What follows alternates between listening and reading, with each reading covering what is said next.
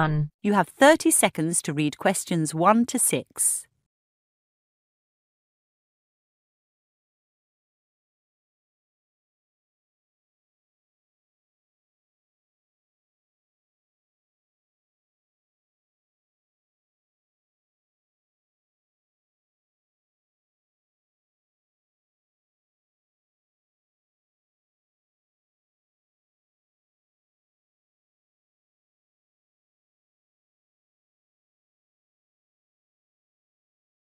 Well, Piers, our first semester at university is almost over.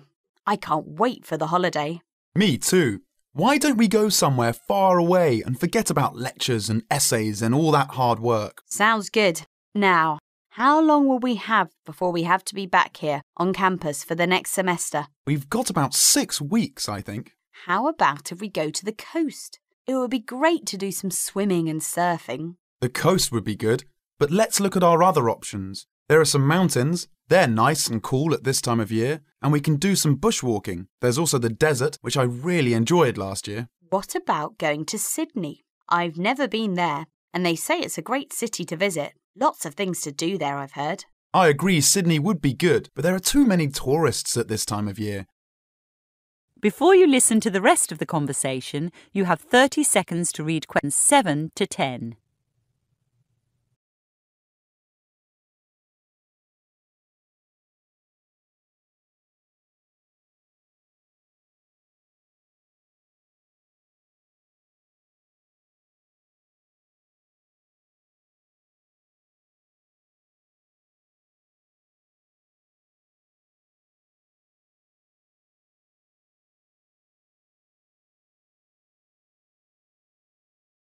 And I'd rather get away from buildings and cars. There are enough of those around here. I vote for the mountains. Well, for places to stay, there are the usual places motels, hotels, youth hostels. You can go camping too.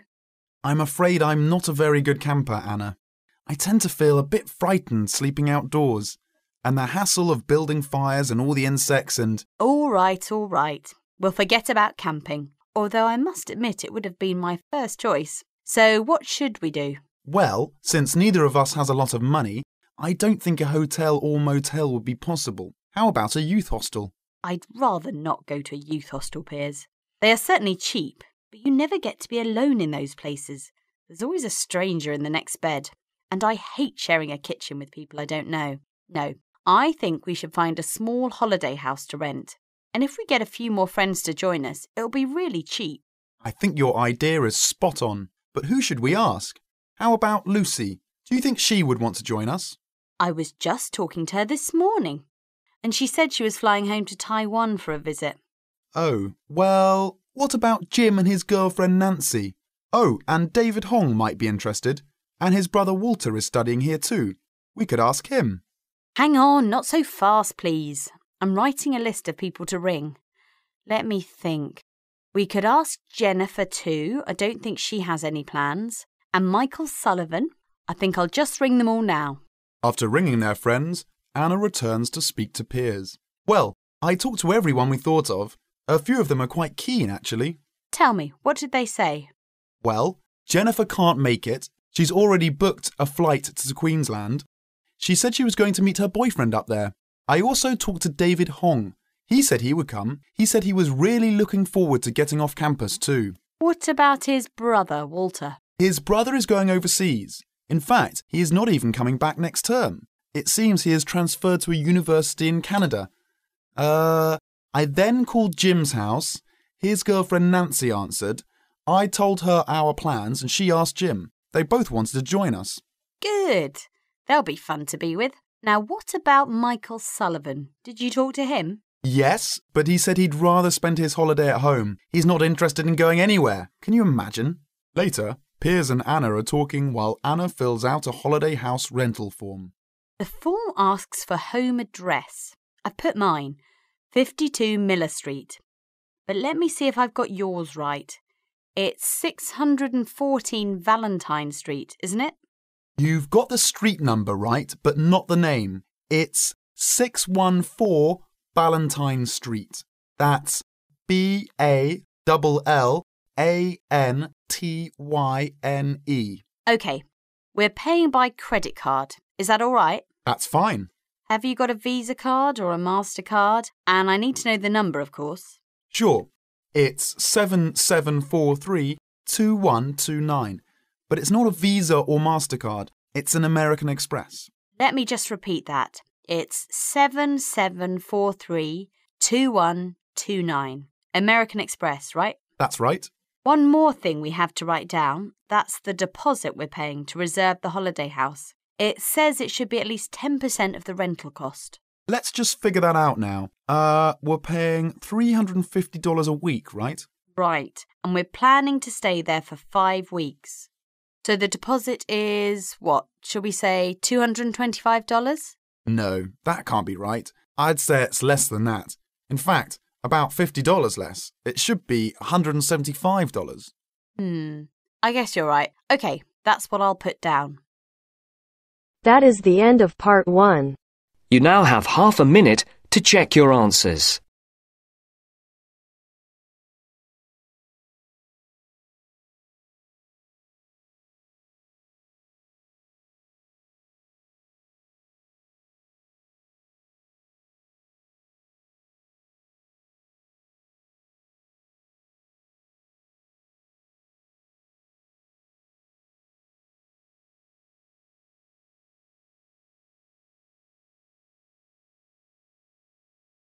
Now turns to part two. Part 2. You are going to hear a lecture. Before you listen, you have 30 seconds to read questions 11 to 15.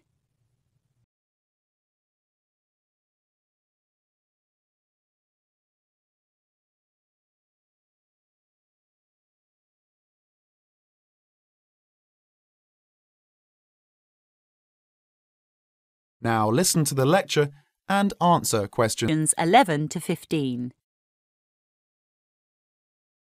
Could everybody hear me? Is the microphone working? Good. Now, welcome everybody to the second of these lectures on successful study at college. Yesterday, we were talking about housekeeping issues, where to find information, how to use library computer system, and so on. Today, we look at time management. And those of you who are interested in doing some extra reading on the subject are very welcome to see me after the lecture, as I have a booklet here. Now, time management. In the past, this was mainly used to make lists, so as to plan for every hour of the week, and then try to stick to the plan. These days, however, the whole idea of managing time has changed. It's impossible to manage time. To manage time, you need a clear idea of both what you want to achieve and how to achieve it. Also, you need to set goals, need to move towards achieving those goals in effective and systematic way. In this subject, in this college, our course goes mid semester and at the end of the semester usually involves two written assignments of between 1500 and 3000 words in length. If you work weeks of the term, everyone looks cheerful and focused. Followed by week six, assignment time, people start to look a lot stressed. The library reports the increasing number of students who become angry when books are not available. So, what has happened? Has everybody become irritable and angry for no reason? Why? The reason is that people have not managed time well. They have not set priorities for reaching their goals. Before you listen to the rest of the conversation, you have 30 seconds to read questions 16 to 20.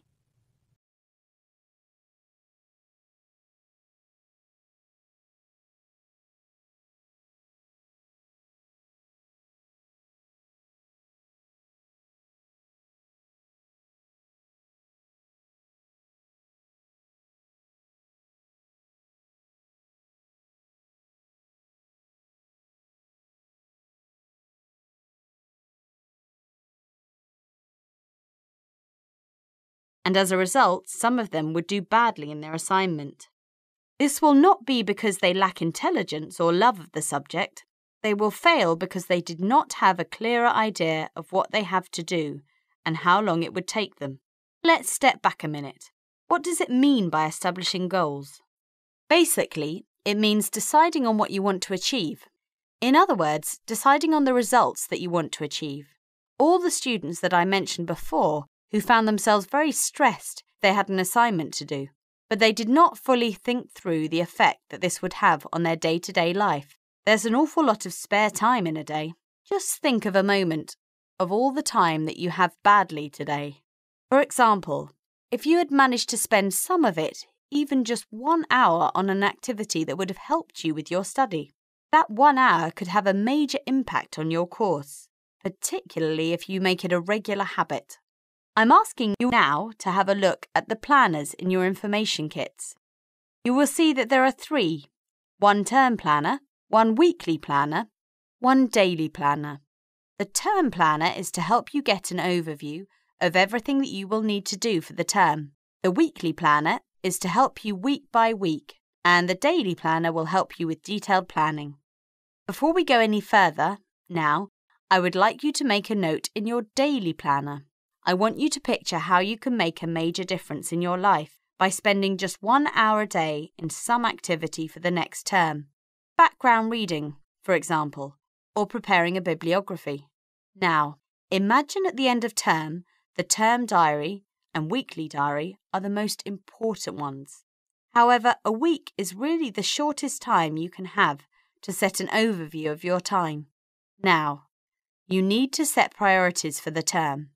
Look out how you could achieve those priorities and the result that you desire.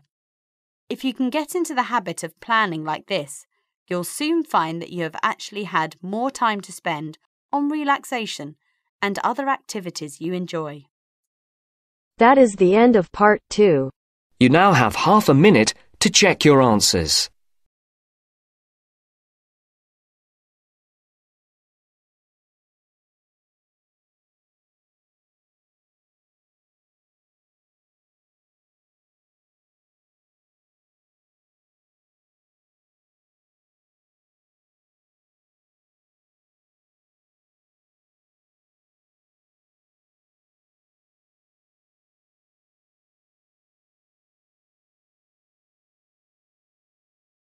Now turns to part three.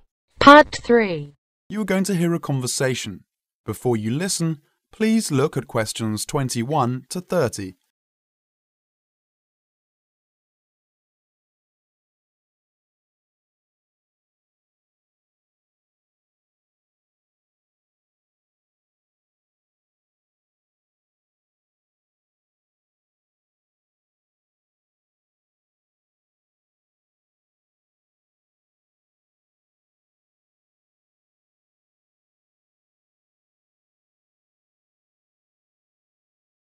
Now listen to the conversation and answer questions 21 to 30.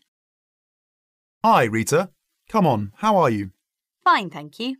Hello, Jane. How are things? Okay. Well, as I explained on the phone, I'm a counsellor here at the Student Services section of the university, and I'm interviewing overseas students to help me draw up a guide for new students. So I'd be grateful if you could tell me a little about your time since you've been here in Cambridge. Right. Good idea.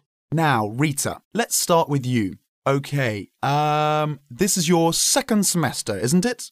Could you tell us something about your first impression of the town when you arrived? Yeah, well, first of all, I was struck by how quiet it is here in the evening. Yes, I suppose Cambridge is a quiet place. Where did you live when you first arrived? Well, I went straight into student accommodation. It was kind of a student hostel. All right, so you didn't have to worry about doing your own cooking or anything like that. No, but sometimes I wished I had. Food at the hostel was awful. Oh dear. But how were the other students? To be honest, I haven't managed to make friends. Even though the place is full, people seem to keep to themselves. They're not really very friendly.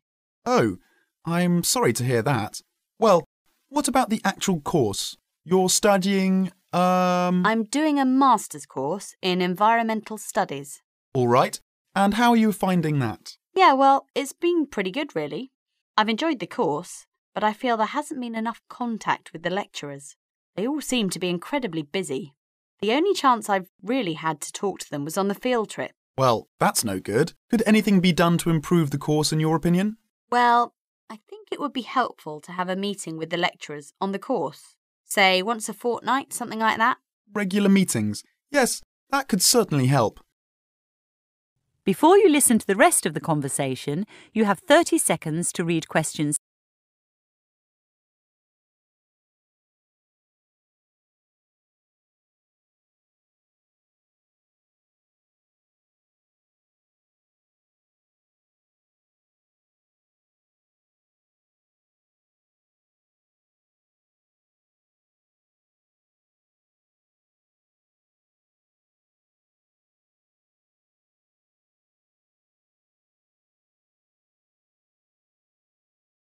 Now, Rita, we'll come back to you in a minute, but I'd like to ask Jane some questions. Jane, where are you from? I'm from Indonesia. And how did you find Cambridge when you first arrived? Well, I like it here. I think the city is very beautiful. What about your accommodation? Was that okay? Yes, okay. At first, I stayed with a family for three months. They were very kind to me, but they had three young children, and I found it difficult to study. Right, I see. So, after three months, I moved out, and now I live with two other students in a student house. It's much cheaper, and we like it there. Good. And what about your studies? What are you studying? I'm doing a Bachelor of Computing. Computing. I see. Um, apart from the language difficulties, if you can separate them, how have you found the course? Okay, but. Yes, go on. Well, the main difficulty for me is getting time on the computers in the computer room. It's always busy, and this makes it very hard to do my practical work. Yes, I'm sure that it would. Can you reserve time in the computer room?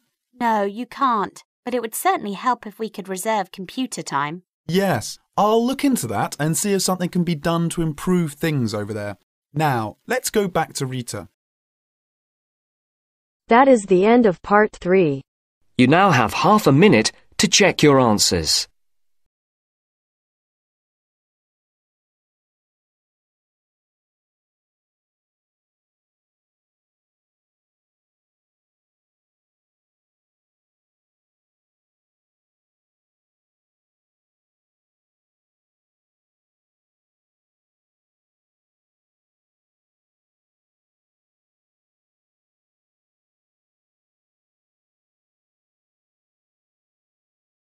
Now turns to part 4. Part 4. Questions 31 to 40 are based on the lecture. Before you listen, please look at questions 31 to 40.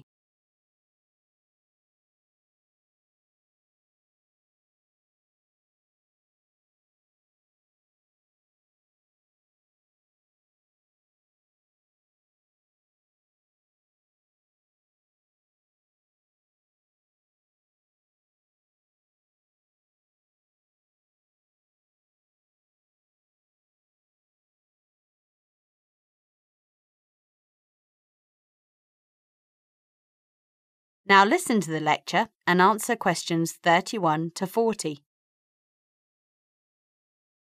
The peregrine falcon, Falco peregrinus, is a majestic prey bird with slate blue upper part and cream coloured underpart. Its underpart is distinguished by horizontal black barring and spotting. The peregrine's elegant head pattern makes this species very distinctive, even from distance. Male peregrines weigh an average of 611 grams and females 952 grams. And female falcons hatch eggs, while male falcons spend most of their life in looking for food.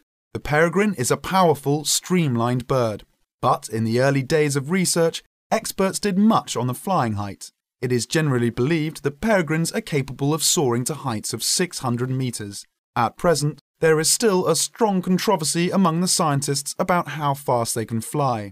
Peregrine falcons are expert hunters feeding on songbirds, shorebirds, waterfowl, seabirds, and pigeons, all of which are caught in flight.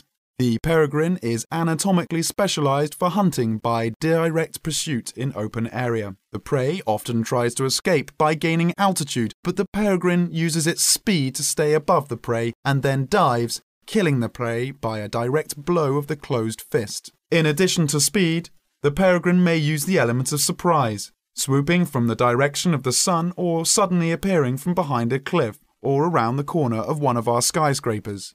In the breeding season, falcons nest on a cliff ledge, cliff top, or ledge, or top of the tallest building is also preferred, preying on pigeons in nearby parks. Occasionally, peregrines may nest on the ground. Females lay two to five eggs in the scrape or nesting site, which is usually just a shallow depression. Eggs are incubated for 32 days, mainly by the female, while the male hunts for food. The young start to fly at about two weeks after hatching, but remain dependent on the adults and not full grown until four weeks after birth. When they are four months old, they are able to hunt on their own, leaving their parents. Before you listen to the rest of the conversation, you have 30 seconds to read questions